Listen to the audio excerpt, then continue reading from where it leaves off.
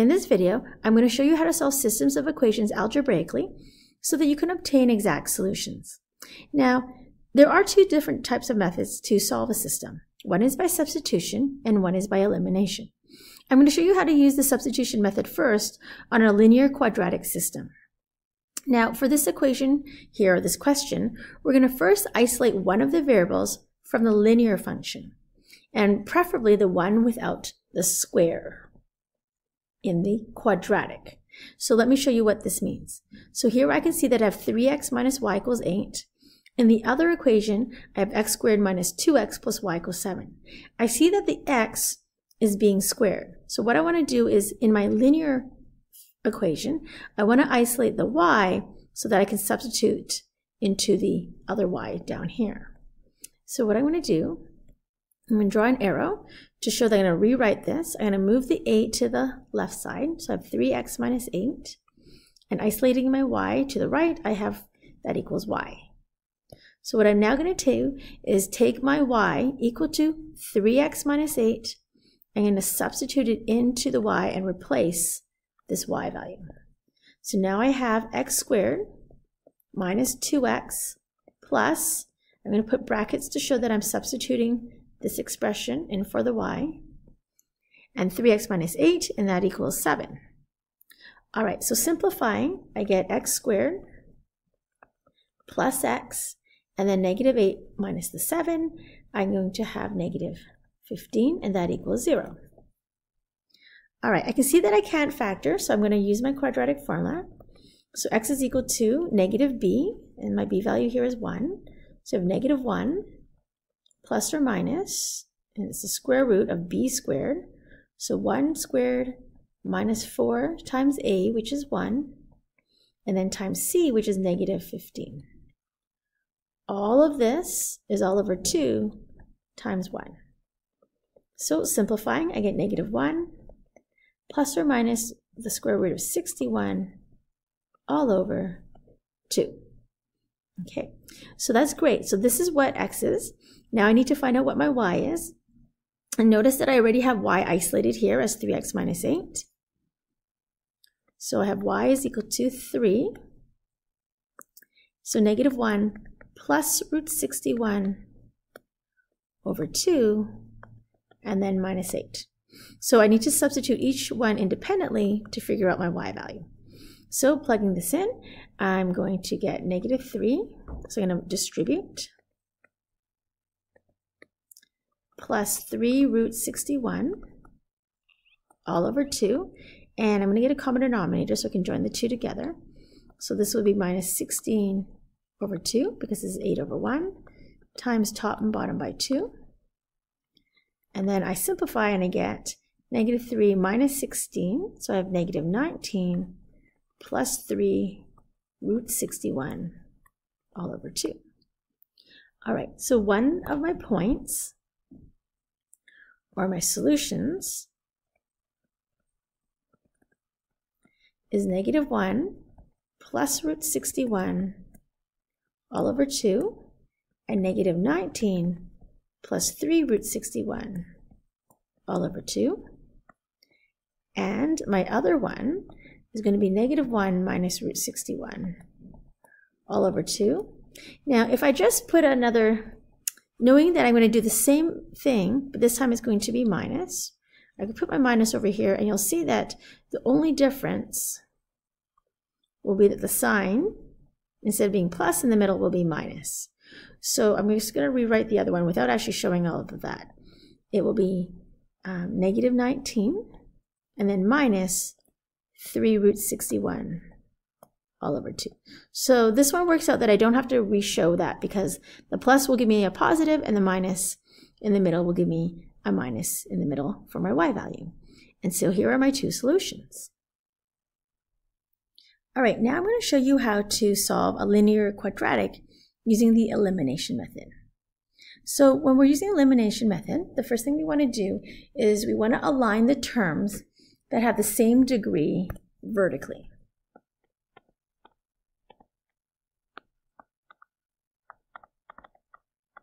Okay, so in this example, what I'm going to do, I'm going to rewrite it over here. And I like to have my higher degree on the top. So this one has an x squared, so I'm going to put it on the top, but it doesn't really matter actually. But I'm going to line my x's and my y's and my constants together. Okay, second step, eliminate one of the variables, preferably, preferably the one without the square. And since we can see that the x is the one that has the squared, we are going to eliminate the y's. And we're going to do this by multiplying the entire equation or equations so that the coefficients of this variable term are the same. So what we can see is we're going to eliminate the y's. So what we need is that these two coefficients, the 1y and the 2y, we need to make them so that they're the same so that when we add or subtract to carry out the elimination, it will disappear. So what I need to do is multiply the first equation by 2. And when I do this, I get 8x squared minus 2x plus 2y equals negative 6. The second equation I don't have to multiply, so I'm going to bring it across. But notice that everything is still lined up. And be really careful and match everything up so that it does match. So you have the x squares, the x's, the y's, and the constants. All right, so in order to eliminate my y's, if I add, I will still have the y's there. So what I need to do is I need to subtract. So I'll make a big subtraction symbol there. So 8x squared minus 0 is still going to be 8x squared. Negative 2 minus 3 will give me negative 5x. 2y minus 2y is 0, so I don't have to write that down. And then negative 6 minus negative 9 is positive 3. Now we're going to move everything to one side. So 8x squared minus 5x minus 3 equals 0. And let's see, to solve this equation, I can actually factor. So we can see that if we put 8 and 1, and using my guess and check method, 8 times 1, I can see that 8 times negative 1 will give me negative 8, and then 1 times 3 will give me 3, so negative 8 plus 3 will give me negative 5 and 3 times negative 1 gives me the negative 3. So recall that this is one of my factors.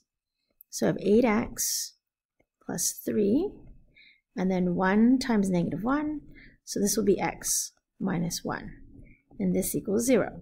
If you forget how to factor, you can watch some of my uh, old videos on factoring. Okay, so we can set each part equal to 0. Now you don't have to show this part, but if you do, want to, you can write this down. So 8x plus 3 equals 0. 8x equals negative 3. So x equals negative 3 eighths. And then the other one is 1. All right, so those are my x values. So I need to now plug these x values into either equation to get my y. So I like to put it into the linear so that we don't have any squares there. Okay, so I have 3 times negative 3 eighths plus 2y equals negative 9. So I have negative 6, oh, not negative 6, I have negative 9, I mean, over 8 plus 2y. And let's get the common denominator now. I can see that I need to join it with the 8. So this will be times 8 on the top and bottom. So I have negative 72 over 8. And now I'm going to add the 9 eighths to my right side. So I have 2y is equal to negative 63 over 8. Divide both sides by 2. Or you can also think of multiplying both sides by a half. So I have y is equal to negative 63 over 16. All right, so one of my solutions is negative 3 eighths and negative 63 over 16. Okay, now plugging in 1 and doing the same thing. I get 3 times 1 plus 2y equals negative 9.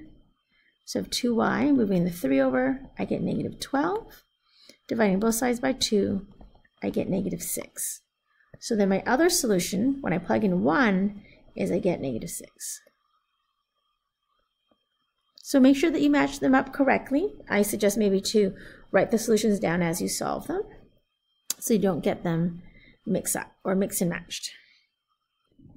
All right, the last type of um, equation that I'm going to show you is a quadratic a quadratic equation. Now we typically use the elimination method to solve a quadratic quadratic. So we want to eliminate the term that contains a single variable that is in both equations. So that if there's only a single variable in each equation, then you can choose. Now, what do I mean by a single equation? So if you look at this example here, we see that we have x squared plus y, and we have an 8x in the first equation. The second one has an x squared, a y, and also a 7x. So the single variable that I'm talking about is the y because we have an x squared and an x. And the second one also has an x squared and an x. But the y's are kind of what we would call our single ones. So what I'm going to do is I'm going to rewrite it so that I have a little bit more space. So I have x squared. And if you want, you can also move everything to one side, but you actually don't need to in this one because everything's already lined up. So the most important thing is that all of your variables are lined up properly. So I have my x squareds, I have my y's, I have my x's, and then I have my constants. This one here is great. I can already eliminate because if I add, my y's will be eliminated. So I'm going to add. So x squared plus x squared is 2x squared. y plus negative y is 0. My equal sign comes down. That's in the middle. 8x plus 7x is 15x. And then 19 plus negative 11 is positive 8. So notice that everything is still in the same spot. My x squares, I have 0 for y. My equal sign is still in the middle. And then 15x plus 8. Now, I need to move everything to one side so that I can set it up as a quadratic equation that equals 0 so that I can solve. Now this one again is factorable. So this actually factors to 2x and x. And then we also get plus 1 and then minus 8.